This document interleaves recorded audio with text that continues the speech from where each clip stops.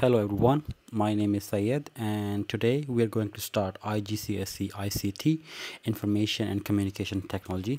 This is the lesson 1 and in this lesson we'll discuss different types of digital devices and different features of those digital devices and how they work. Let's begin the class. The first question that comes to our mind is what are digital devices? Digital devices are pieces of hardware that use computer or microcontrollers. The purpose of digital devices is to enhance our everyday life. For example, you can think of the laptop, phones, printers, etc. These devices work together to give us things we need anywhere or anytime. Now let's talk about the different types of digital devices. The first digital device we're going to discuss is called computers. Before we discuss the computer, let's talk about what are the microprocessor because microprocessor is the main component of every computer system. A microprocessor is the device that control what a computer does. It takes data as input, does something with it and provides the output. Basically, it takes the input, process it and then give us the output using the output devices. We will discuss input and output devices later in the now the first type of computer is called the mainframe computer. A mainframe computer is a large powerful computer. A mainframe computer can do a lot of complicated jobs quickly. Since it's very powerful, a lot of people can use it at the same time.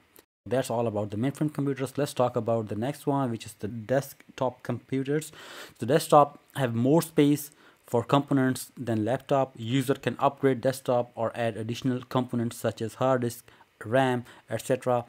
And a desktop computer usually need to have peripheral devices connected to it.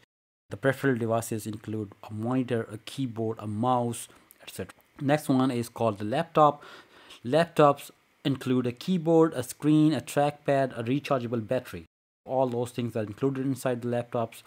Laptops are example of portable devices which mean it can be taken away from the desk. We discuss the portable devices in the future lessons.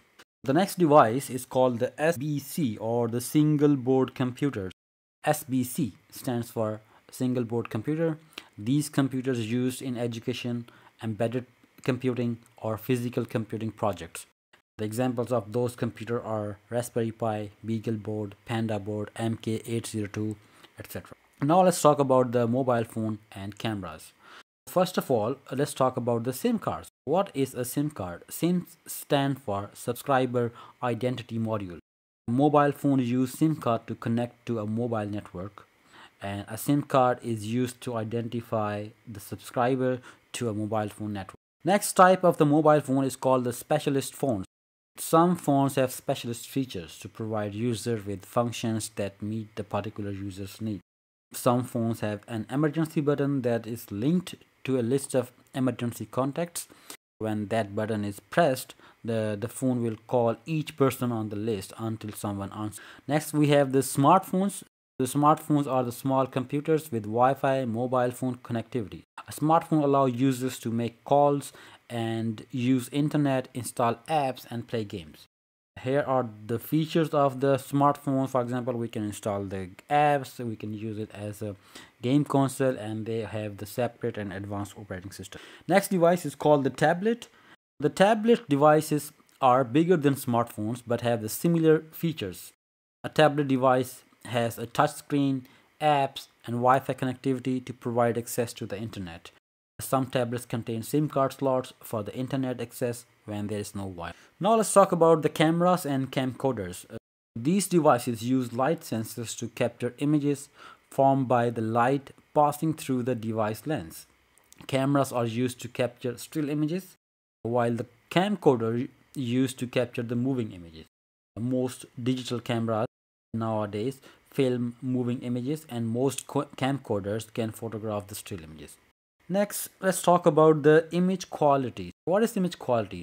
A good lens allow light to travel through it without introducing any defects. We can determine the quality of an image on those three factors like quality of lens, quality of image processor, and the qual quality of the uh, sensor resolution. These are the three factors. Based on those three factors, we can determine the quality of an image. Let's talk one by one. It allows the user to choose how much light can travel through it, which affect the final image. And a good image processor can compensate for the poor lighting conditions. Sensor resolution of a camera is expressed as number of pixels that can be captured. Now let's talk about the pixels. What is the pixel? Digital images are made up of small dots called pixels.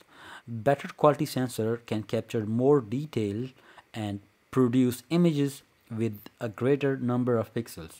Some cameras use sensors, each dedicated to a different color or wavelength of light. Now let's talk about the home entertainment system. First device that we use in a home is television or TV. Televisions display still and moving images on screen. Quality of the image is set by the number of pixels that are used to display the image, referred as screen resolution. High definition television screens contain a large number of pixels. High definition or HD television screen contain a large number of pixels, which means that they have a higher resolution than standard definition televisions. Now let's talk about the resolution. What is the resolution? The resolution of a television in pixel is stated as horizontal pixels were multiplied by vertical pixels. We can multiply the horizontal and the vertical pixel to calculate the resolution of a screen. Uh, manufacturer do not specify the number of horizontal pixel. Instead, they only refer the vertical pixels. You have usually seen that the screen with the number 720 or 1080p. Ultra high definition UHD TV screens are sometimes called 4K or 8K because they have a horizontal resolution of 4000 or 8000 pixels. Next device is called the sound system. Sound system can produce loud, rich sound using high quality speakers and amplifiers. Sound system can play music from CDs or from the local storage. Uh, usually be connected to a personal device, for example, mobile phone, media player, tablet, using wired like a USB or wirelessly via Bluetooth. They can be connected to a local network via Wi-Fi to play the music stored on connected devices. Some sound system can connect to the internet to play the music stored online. Next one is the personal video recorder. Personal video recorder or PVR. A personal video recorder is a device that record broadcast content that it can be watched at later date. Now let's talk about the Blu-ray and the DVD players. Keep in mind now we are talking about the players, not the disc. Blu-ray and DVD players connect to television to play films and other content stored on DVD or Blu-ray disc. Ray players can usually play DVD disc, but DVD players will not play the Blu-ray discs. Blu-ray discs can store HD movies which have higher quality pictures and sound. Newer 4K Ultra HD Blu-ray players can play 4K content on 4K televisions. Now let's talk about the game consoles. What is a game console? Game consoles are designed to enable users to play video game on television screens and games are provided on disk or as downloaded from the internet. They use controller which are often wireless to control the character, vehicle or objects in the game. Some games use motion sensors to allow players to control the game with gestures and body movement. Other games use virtual reality controller and headset to immerse the player in the realistic gaming experience.